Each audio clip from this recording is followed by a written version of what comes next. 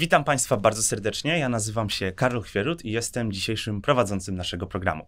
Moim gościem reżyser, scenarzysta i ktoś, kogo z dumą mogę nazwać moim przyjacielem, Piotr Krzysztof Kamiński. Bardzo, bardzo mi miło. Y, dzień dobry. Tak.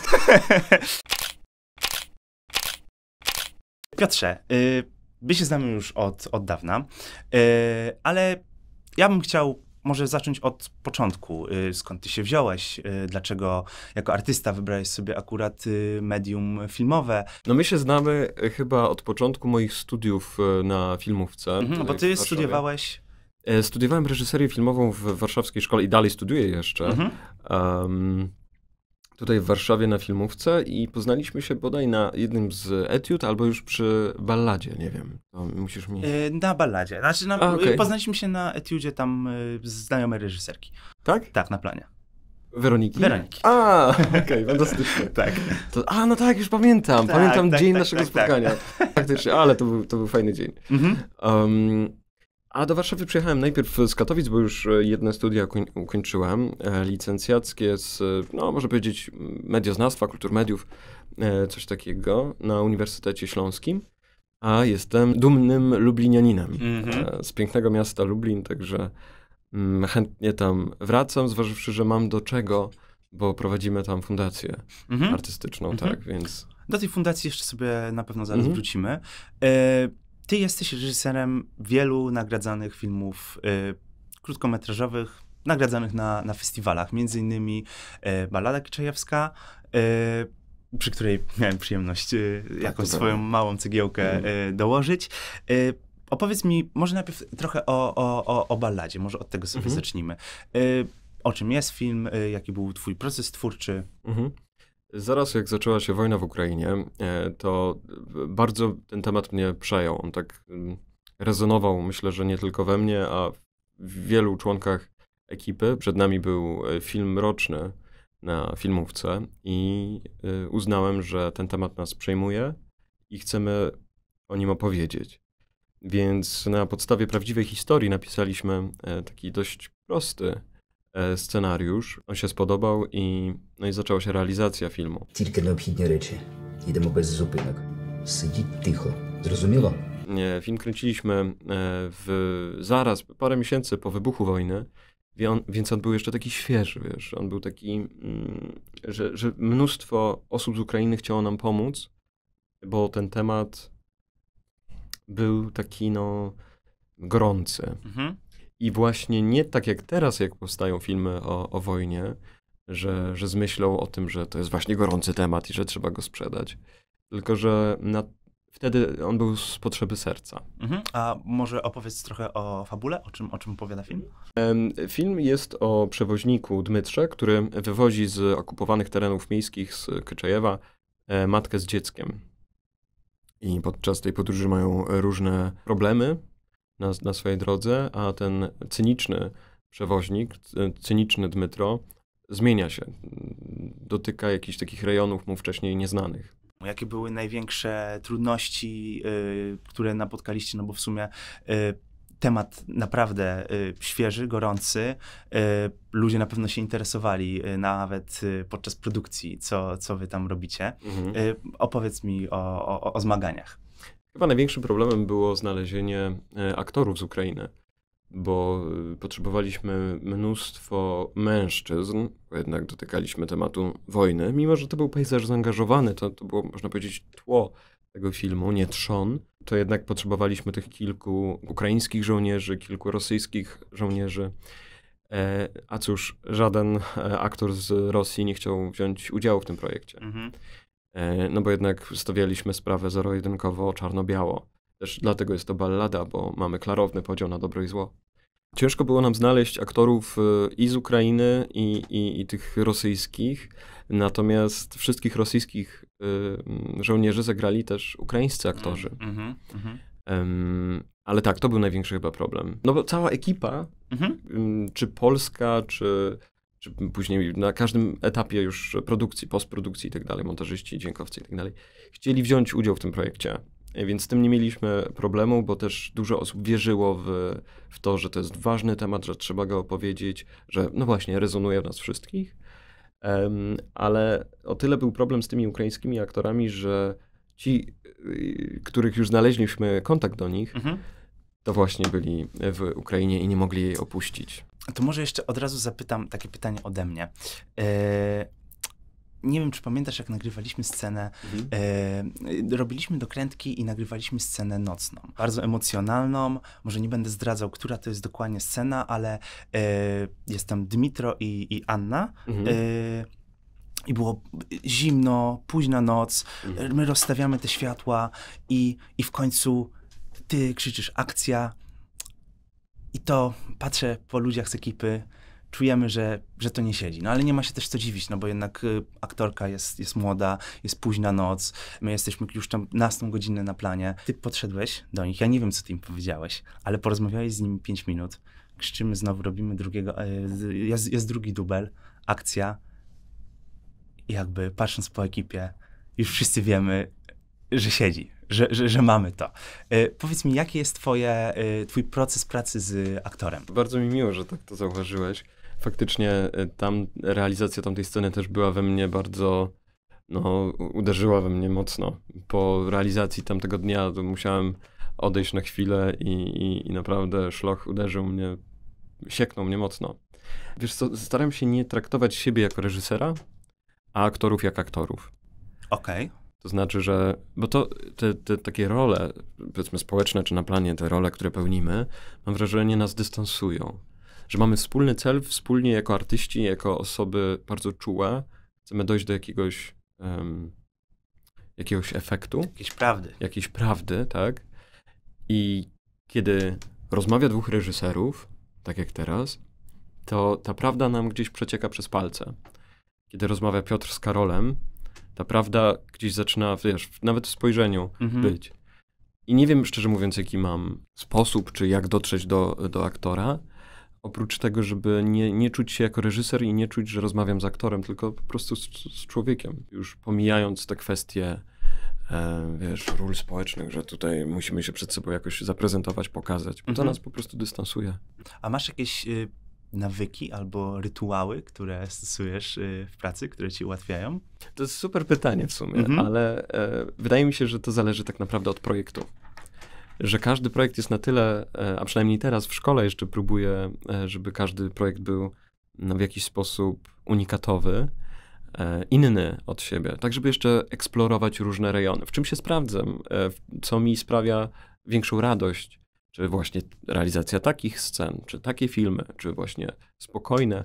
Teraz e, na drugim roku zrobiłem film, jeszcze go kończymy, mhm. mm, Szumy i Fonie. Jest to film o głuchych w latach 90. w Polsce. I jest to film skrajnie spokojny. Tam nie dzieje się nic. W przeciwieństwie do ballady, gdzie akcja jest wartka, to jest 20 minut, a dzieje się cały czas coś. Mamy cały czas zwrotę akcji. I postanowiłem, że zrobię choć krótszy metraż, to mm, od ballady, to jednak, żeby ta akcja płynęła zupełnie, pozbawiając ją, jej, e, wiesz, takich punktów liminalnych, jakiś, y, czegoś katarktycznego na koniec i tak dalej, e, tylko opowiedzieć taką scenkę rodzajową i żebyśmy w niej trwali. Mhm. I nie wiem, czy mi się uda, czy nie, ale chcę to spróbować. Nie jestem jeszcze w szkole, jestem uczniem, więc studentem. Chcę eksplorować tą materię i zobaczyć, nie? co umiem, czego nie, w czym się sprawdzam, a co mi jeszcze nie wychodzi. A, a jakie było największe wyzwanie przy tym filmie dla ciebie? Przy szumach? Przy szumach, tak.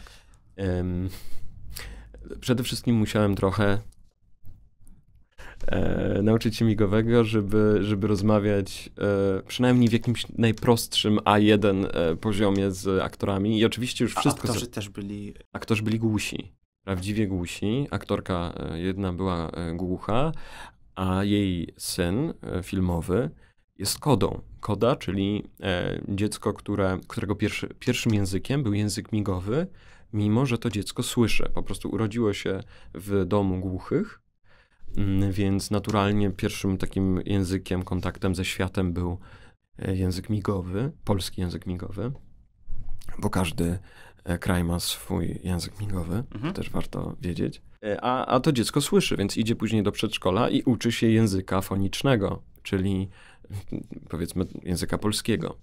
E, I to, jest, I to jest koda i znaleźliśmy chłopca, który prawdziwie też jest e, kodą, więc jego rodzice też byli głusi. I mieliśmy mnóstwo tłumaczy na planie. Tłumacz może pracować około 40 minut. No to sam wiesz, jak, ile godzin pracy jest na planie, więc mieliśmy kilkunastu tłumaczy. A dlaczego, tak, dlaczego może pracować do 40 minut?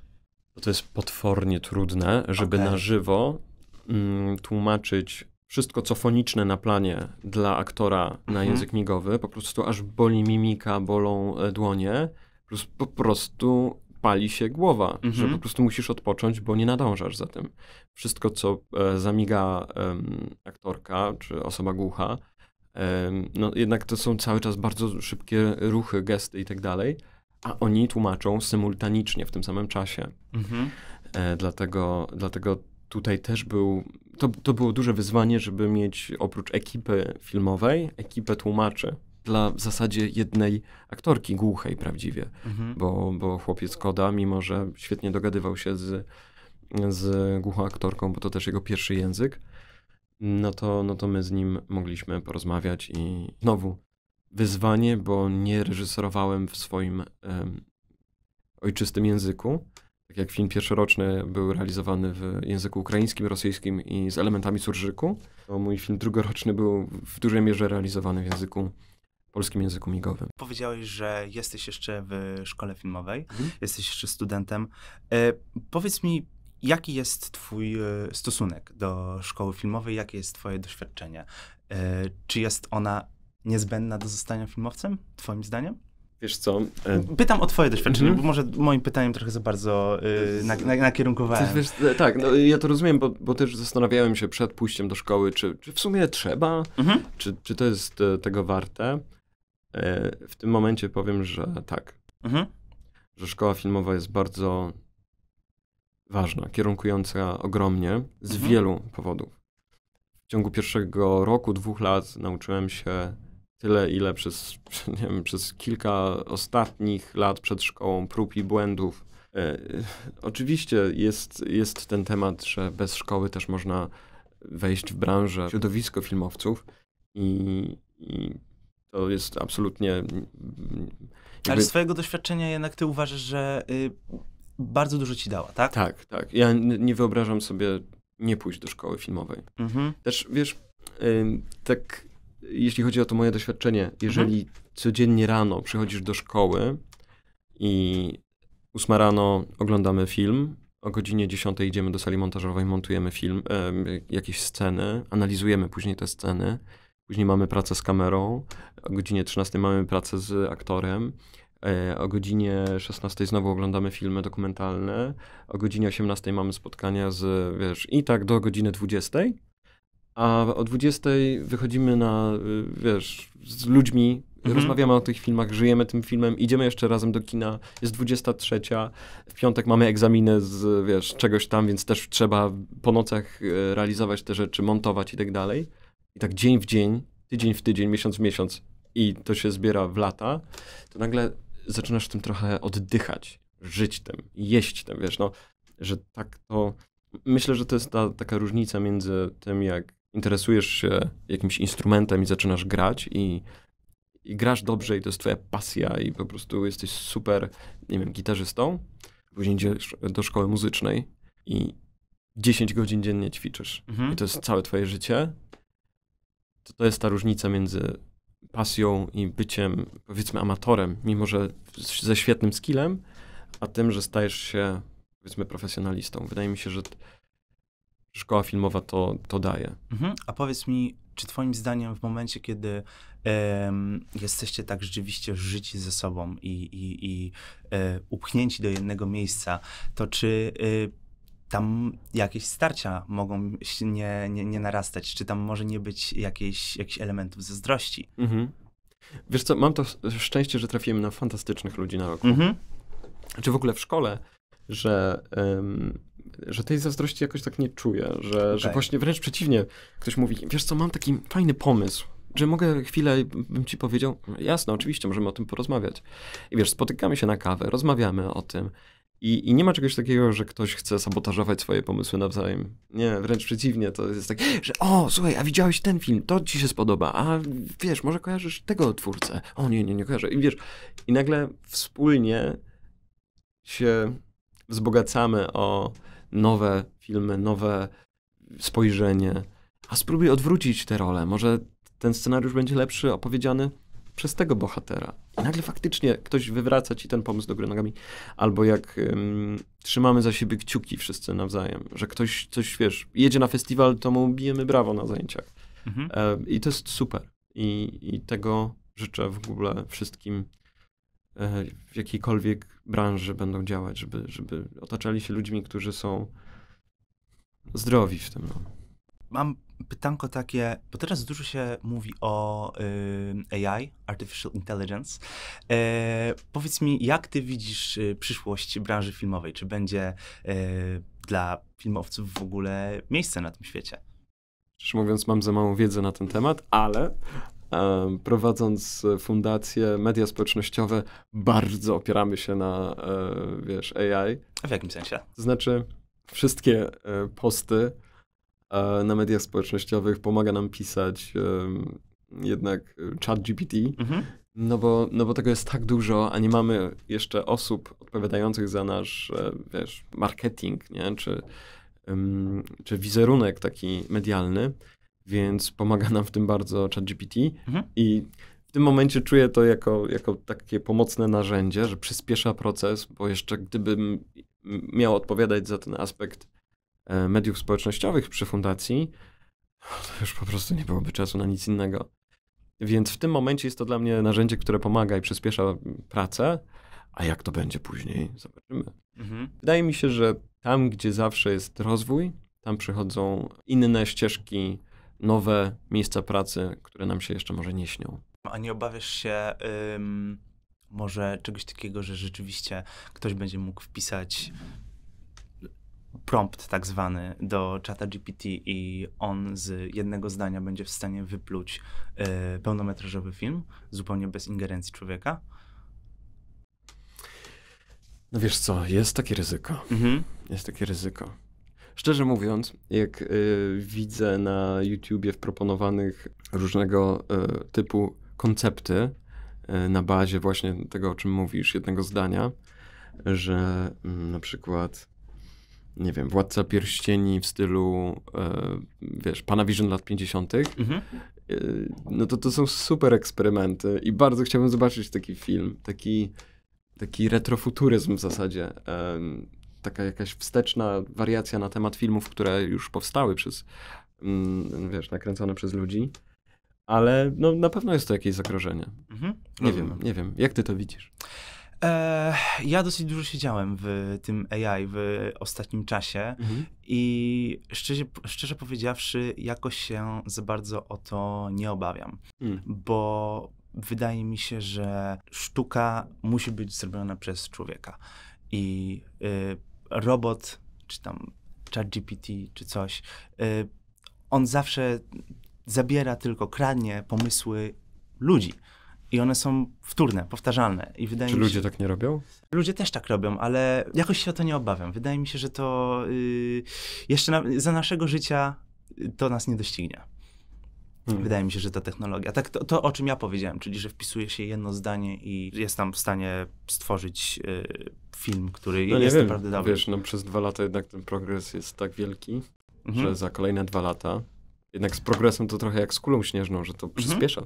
Możliwe, ale y, ja jakoś się o to nie obawiam, powiem ci, powiem ci szczerze. Dobra, to jeszcze może tak na koniec. Y, jakie masz porady dla y, ludzi startujących y, w y, biznesie, swoją przygodę z filmem? W biznesie nie mam pojęcia. W biznesie bo, może nie. Bo no. ja chętnie sam przyjąłbym takie rady. Natomiast y, jak, no nie wiem, jak ktoś e, e, jest zainteresowany studiowaniem na filmówce albo rozpoczęciem w ogóle swojej przygody z filmem, no myślę, że to w ogóle tak jak z pasją, że mm, trzeba trochę odkrywać po swojemu. I to wtedy najbardziej cieszy. Jestem motocyklistą i jeszcze uczę się tak wielu rzeczy. Wiesz, na przykład z customowaniem motocykla. to jasne, mógłbym pójść na jakiś, no nie wiem, no nie wiem, gdzie mógłbym pójść, ale y, wiesz, ktoś mógłby mnie nauczyć i pokazać mi, musisz zrobić to, to i to, no ale to nie ma fanów w tym. Myślę, że najciekawsze jest kombinowanie i trochę szukanie tej wiesz, tajemnej wiedzy, jak co zrobić, gdzie coś podłączyć, jak wykręcić i tak dalej. I to nam daje frajdę. I z filmem też tak to widzę, żeby trochę samemu poeksperymentować, zobaczyć, jakie filmy y, mi się podobają i spróbować coś odtworzyć na samym początku drogi, żeby poprosić kolegów i o, zróbmy coś, nakręćmy jakąś scenę. No to, no to jak już jest ta pasja, jest już ta zajawka, to jest ta, to, ta forma deklaracji, że chyba tego chciałbym, e, to chciałbym robić w życiu. No i ta deklaracja myślę już jest ważna, że to jest po prostu oglądanie filmów, kochanie, e, kochanie film. No bo jednak jak idziesz do szkoły filmowej, to myślisz o tym, że chcę kręcić filmy a nie tylko oglądać filmy, bo wtedy myślisz o filmoznawstwie i krytyce filmowej. No ale tak, myślę, że to generalnie chodzi o tą pasję i miłość do, tej, do tego materiału. Mhm. Czyli y, jeżeli ktoś nie ma w sobie tej pasji, to nie, nie powinien startować. Taki truizm można powiedzieć. Jak nie masz pasji, to, to może przemyśl. Ale no tak, no tak. No, w, mhm. sumie, w sumie trochę tak. Że to się zaczyna od tego, że coś nas jara. Mhm. I, chcemy, I chcemy tego więcej. I uczyć się. I poznawać i, i tak dalej. A jeśli chodzi o ten biznes, no to nie wiem. Co to zrobić dalej, Karol? Powiedz, jak sprzedać swój film? Nie, y, ja, ja się z tobą w pełni zgadzam. Jeżeli ktoś y, wchodzi w świat filmu z myślą, że y, dorobi się nie wiadomo jakiej fortuny, to jest w totalnie złym miejscu. O, tak, y, nie, nie, nie, powinno się w ogóle w to wchodzić, y, bo z, z, zupełnie nie z tych powodów się robi filmy. Tak, to jest ważne pytanie, czy kochasz e, kino w sobie, czy siebie w kinie? Mm. Mhm. I tym pozytywnym akcentem chciałbym zakończyć. Dzisiaj moim gościem był y, reżyser, scenarzysta Piotr Krzysztof Kamiński. Dziękuję ci bardzo. Bardzo dziękuję, Karol.